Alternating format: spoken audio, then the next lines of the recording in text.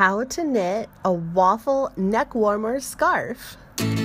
Hi guys, I'm Kristen. With the return of Stranger Things, I was inspired to create this neck warmer scarf. It is the perfect knitting project to keep you cozy while you Netflix and knit. This is an easy level project, so it's perfect for all of you who have completed my Absolute Beginner Knitting Series.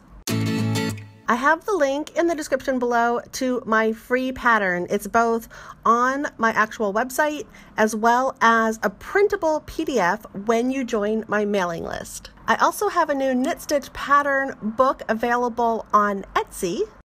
You also might want to pin this free waffle neck warmer scarf to your knitting Pinterest board.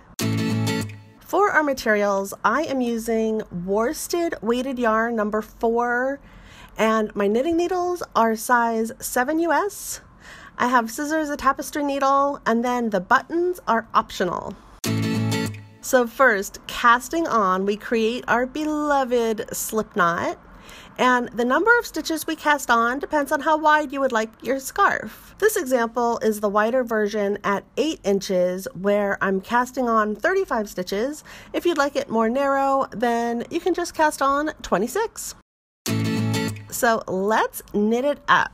This is just a quick little overview to share the pattern with you. You start with two knit rows, very simple for your edge, and then you go straight into the waffle stitch pattern. It is just a repeat of four different rows, and you'll see every single stitch is either a knit or a purl. So if you know how to knit and purl, then this project is perfect for you. Now, buttons are optional. You can always attach your short little neck warmer with brooches, but if you'd like to attempt buttonholes, I have a great new tutorial and I'll have that linked in the description below. I added my buttonholes on the all knit row. And then, of course, you just attach your buttons to the other side of your scarf and slip them through. And they look really cute.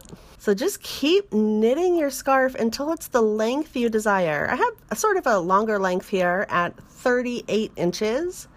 And to finish it off, you do two more knit rows that will give you that nice waffle edge. And then we just bind off. Finishing up our scarf, we will cut our yarn and thread that yarn tail through that last little loop and weave in our ends.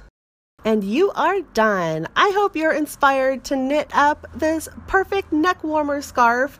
It's sure to keep Eleven nice and toasty warm while she is trapped in the upside down world of Stranger Things. Thanks for watching, guys. Bye.